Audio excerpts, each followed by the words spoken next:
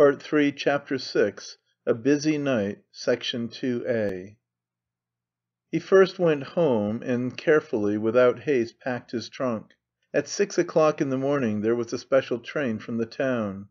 This early morning express only ran once a week, and was only a recent experiment.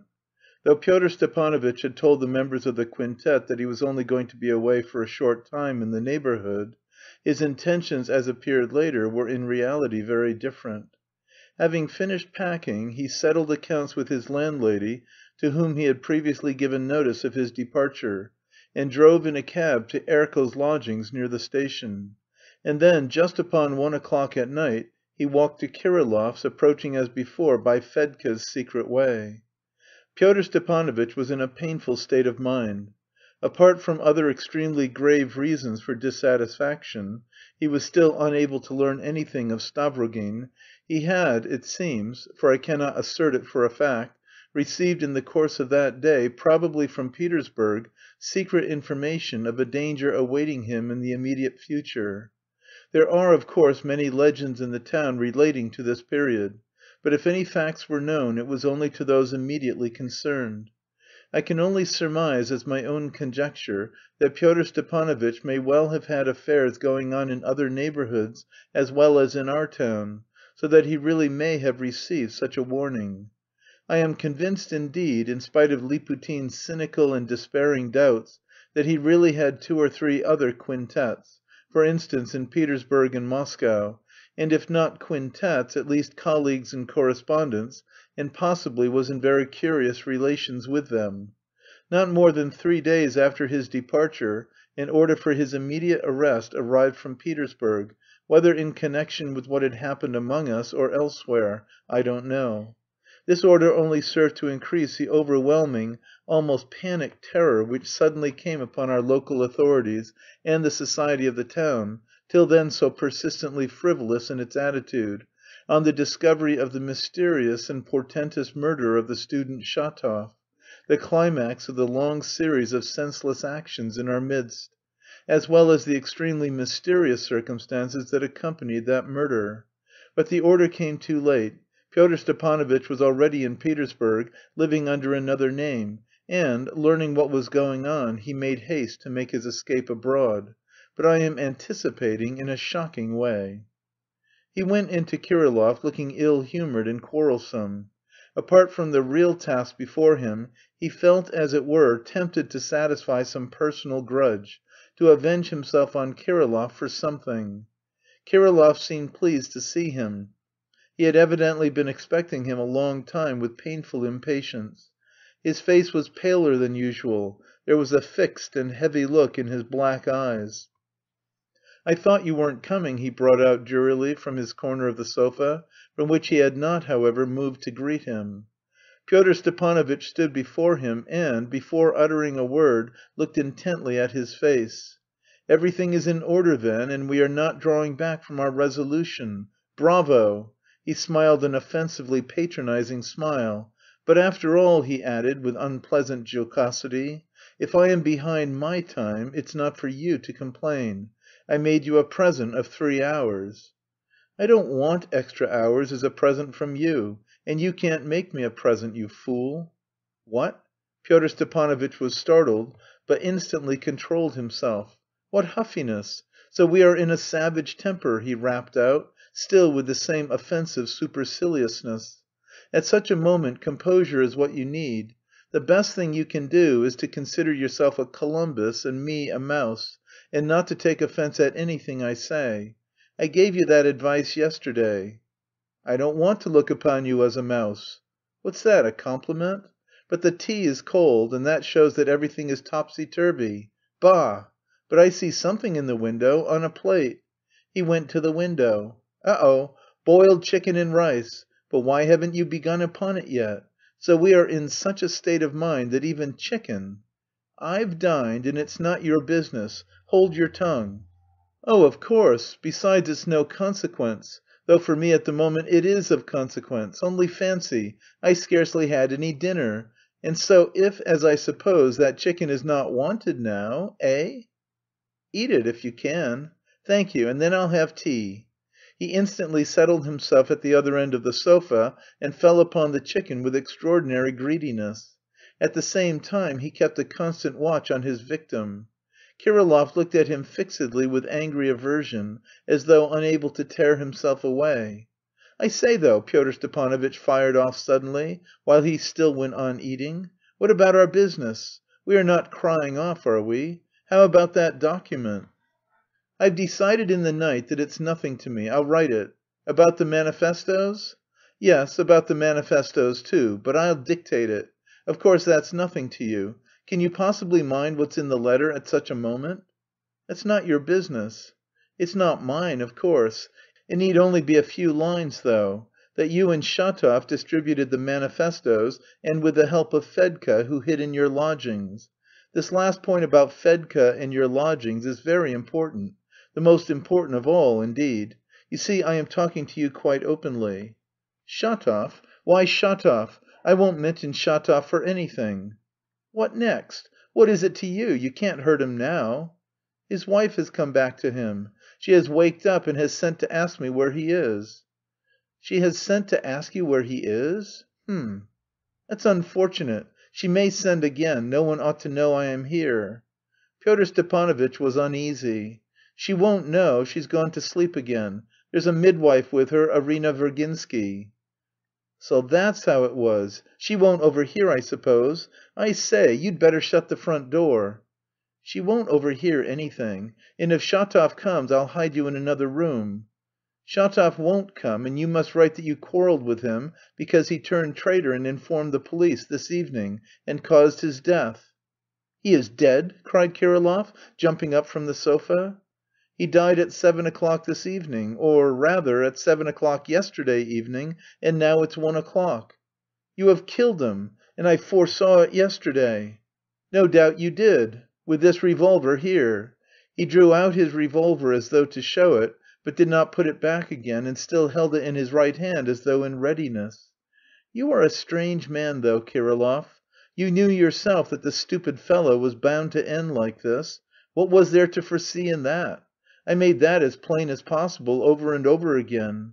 Shatov was meaning to betray us. I was watching him, and it could not be left like that. And you too had instructions to watch him, you told me so yourself three weeks ago." "Hold your tongue. You've done this because he spat in your face in Geneva." "For that and for other things too. For many other things, not from spite, however. Why do you jump up? Why look like that? Oh, oh! So that's it, is it?" He jumped up and held out his revolver before him. Kirillov had suddenly snatched up from the window his revolver, which had been loaded and put ready since the morning. Pyotr Stepanovitch took up his position and aimed his weapon at Kirillov. The latter laughed angrily. "Confess, you scoundrel, that you brought your revolver because I might shoot you. But I shan't shoot you, though... though..." And again he turned his revolver upon Pyotr Stepanovitch, as it were rehearsing, as though unable to deny him the pleasure of imagining how he would shoot him. Pyotr Stepanovitch, holding his ground, waited for him, waited for him till the last minute without pulling the trigger, at the risk of being the first to get a bullet in his head. It might well be expected of the maniac. But at last the maniac dropped his hand, gasping and trembling and unable to speak. "You've played your little game and that's enough." Pyotr Stepanovitch too dropped his weapon. I knew it was only a game. Only you ran a risk, let me tell you. I might have fired." And he sat down on the sofa with a fair show of composure and poured himself out some tea, though his hand trembled a little. Kirillov laid his revolver on the table and began walking up and down. "I won't write that I killed Shatov, and I won't write anything now. You won't have a document." "I shan't?" "No, you won't." "What meanness and what stupidity!" Pyotr Stepanovitch turned green with resentment. "I foresaw it, though. You've not taken me by surprise, let me tell you. As you please, however. If I could make you do it by force, I would. You are a scoundrel, though." Pyotr Stepanovitch was more and more carried away and unable to restrain himself. "You asked us for money out there and promised us no end of things. I won't go away with nothing, however. I'll see you put the bullet through your brains first, anyway." "I want you to go away at once." Kirillov stood firmly before him. "No, that's impossible." Pyotr Stepanovitch took up his revolver again. Now in your spite and cowardice you may think fit to put it off and to turn traitor to morrow, so as to get money again. They'll pay you for that, of course. Damn it all, fellows like you are capable of anything. Only don't trouble yourself, I've provided for all contingencies. I am not going till I've dashed your brains out with this revolver, as I did to that scoundrel Shatov, if you are afraid to do it yourself and put off your intention, damn you!" "You are set on seeing my blood too?" "I am not acting from spite; let me tell you, it's nothing to me. I am doing it to be at ease about the cause. One can't rely on men; you see that for yourself. I don't understand what fancy possesses you to put yourself to death. It wasn't my idea. You thought of it yourself before I appeared, and talked of your intention to the committee abroad before you said anything to me. And you know, no one has forced it out of you. No one of them knew you, but you came to confide in them yourself, from sentimentalism. And what's to be done if a plan of action here, which can't be altered now, was founded upon that with your consent and upon your suggestion? Your suggestion, mind that! You have put yourself in a position in which you know too much. If you are an ass and go off to morrow to inform the police, that would be rather a disadvantage to us. What do you think about it? Yes, you've bound yourself. You've given your word, you've taken money. That you can't deny." Pyotr Stepanovitch was much excited, but for some time past Kirillov had not been listening. He paced up and down the room lost in thought again. "I am sorry for Shatov," he said, stopping before Pyotr Stepanovitch again. "Why so? I am sorry, if that's all, and do you suppose..." "Hold your tongue, you scoundrel!" roared Kirillov, making an alarming and unmistakable movement. "I'll kill you!" "There, there, there, I told a lie, I admit it. I am not sorry at all. Come, that's enough, that's enough." Pyotr Stepanovitch started up apprehensively, putting out his hand. Kirillov subsided and began walking up and down again. "I won't put it off. I want to kill myself now; all are scoundrels." "Well, that's an idea. Of course, all are scoundrels, and since life is a beastly thing for a decent man..." "Fool! I am just such a scoundrel as you, as all, not a decent man. There's never been a decent man anywhere." "He's guessed the truth at last. Can you, Kirillov, with your sense, have failed to see till now that all men are alike? That there are none better or worse, only some are stupider than others, and that if all are scoundrels which is nonsense though there oughtn't to be any people that are not." "Ah! Why, you are really in earnest?" Kirillov looked at him with some wonder. "You speak with heat and simply. Can it be that even fellows like you have convictions?" "Kirillov, I've never been able to understand why you mean to kill yourself. I only know it's from conviction, strong conviction. But if you feel a yearning to express yourself, so to say, I am at your service. Only you must think of the time." "What time is it?" "Oh, oh, just two."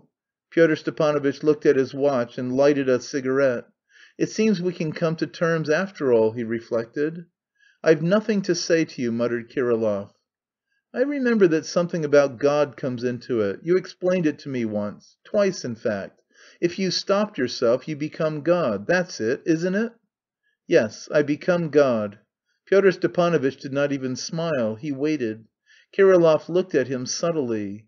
"You are a political impostor and intriguer. You want to lead me on into philosophy and enthusiasm and to bring about a reconciliation so as to disperse my anger, and then, when I am reconciled with you, beg from me a note to say I killed Shatov." Pyotr Stepanovitch answered with almost natural frankness. "Well, supposing I am such a scoundrel, but at the last moments does that matter to you, Kirillov? What are we quarrelling about? Tell me, please. You are one sort of man and I am another. What of it? And what's more, we are both of us..." "Scoundrels." "Yes, scoundrels if you like, but you know that that's only words." "All my life I wanted it not to be only words. I lived because I did not want it to be. Even now, every day, I want it to be not words." "Well, every one seeks to be where he is best off. The fish... that is, every one seeks his own comfort, that's all. That's been a commonplace for ages and ages." "Comfort, do you say?" "Oh, it's not worth while quarrelling over words. No, you were right in what you said. Let it be comfort. God is necessary, and so must exist." "Well, that's all right then." "But I know he doesn't and can't." "That's more likely." "Surely you must understand that a man with two such ideas can't go on living." "Must shoot himself, you mean?" "Surely you must understand that one might shoot oneself for that alone. You don't understand that there may be a man, one man out of your thousands of millions, one man who won't bear it and does not want to." "All I understand is that you seem to be hesitating. That's very bad." "Stavrogin, too, is consumed by an idea," Kirillov said gloomily, pacing up and down the room. He had not noticed the previous remark. "What?" Pyotr Stepanovitch pricked up his ears. "What idea? Did he tell you something himself?" "No, I guessed it myself. If Stavrogin has faith he does not believe that he has faith; if he hasn't faith he does not believe that he hasn't." "Well, Stavrogin has got something else worse than that in his head," Pyotr Stepanovitch muttered peevishly, uneasily watching the turn the conversation had taken and the pallor of Kirillov. "Damn it all, he won't shoot himself," he was thinking. "I always suspected it. It's a maggot in the brain and nothing more. What a rotten lot of people!" "You are the last to be with me. I shouldn't like to part on bad terms with you," Kirillov vouchsafed suddenly. Pyotr Stepanovitch did not answer at once. "Damn it all, what is it now?" he thought again. "I assure you, Kirillov, I have nothing against you personally, as a man, and always..." "You are a scoundrel and a false intellect, but I am just the same as you are, and I will shoot myself while you will remain living." "You mean to say I am so abject that I want to go on living." He could not make up his mind whether it was judicious to keep up such a conversation at such a moment or not, and resolved to be guided by circumstances. But the tone of superiority and of contempt for him, which Kirillov had never disguised, had always irritated him, and now for some reason it irritated him more than ever; possibly because Kirillov, who was to die within an hour or so Pyotr Stepanovitch still reckoned upon this seemed to him, as it were, already only half a man, some creature whom he could not allow to be haughty.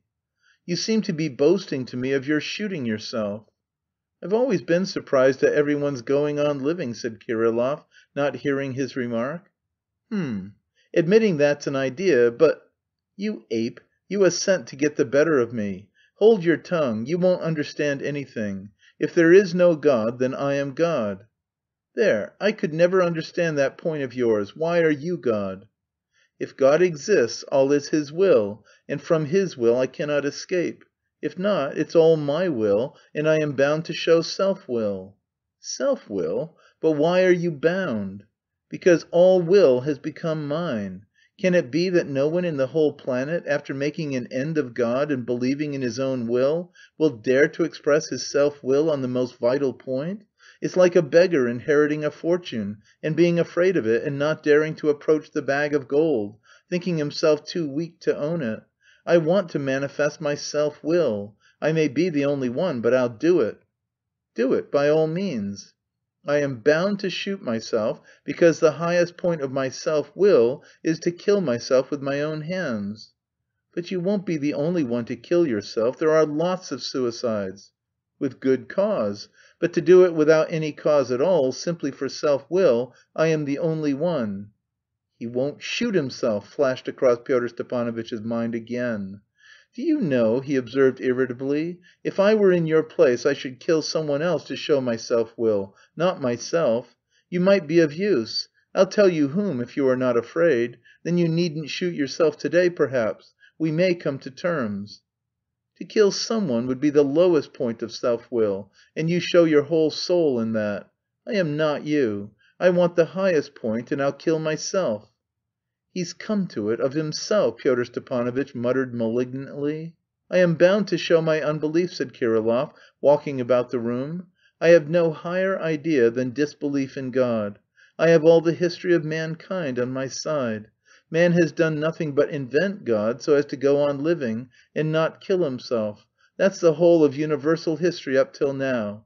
I am the first one in the whole history of mankind who would not invent God let them know it once for all." "He won't shoot himself," Pyotr Stepanovitch thought anxiously.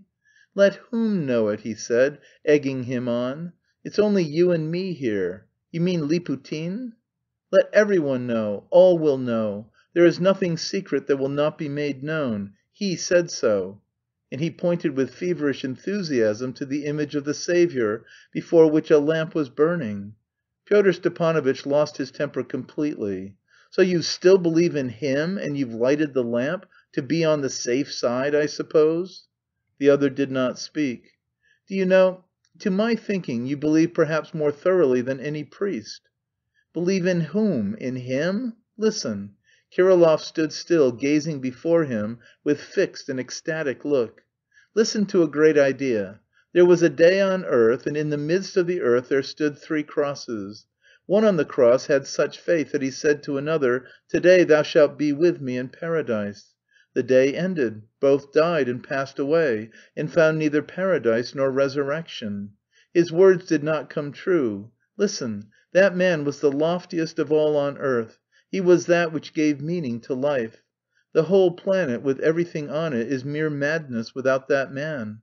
There has never been any like him before or since, never, up to a miracle. For that is the miracle, that there never was or never will be another like him. And if that is so, if the laws of nature did not spare even him, have not spared even their miracle, and made even him live in a lie and die for a lie, then all the planet is a lie, and rests on a lie, and on mockery.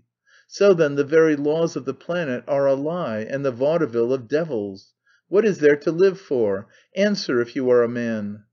"That's a different matter. It seems to me you've mixed up two very different causes, and that's a very unsafe thing to do.